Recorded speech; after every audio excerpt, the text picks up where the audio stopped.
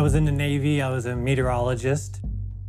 When I served over in the, during the Gulf War, um, there was uh, some health issues that a lot of veterans came back with, and it became termed uh, Gulf War syndrome.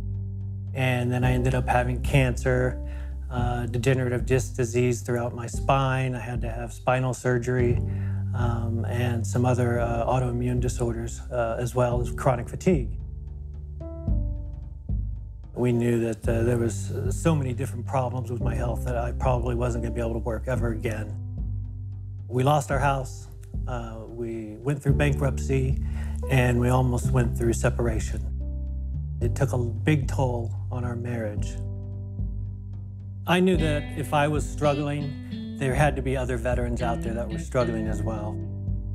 Through Saddleback and having the, the veterans ministry and the support groups, uh, it, it's changed my life. It's given me a purpose.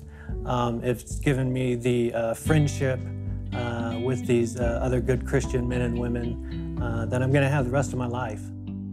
It's wonderful that we can have a place that veterans can go to get the help they need and to just be able to plug into a group and have some new friendship and camaraderie like they used to in the military.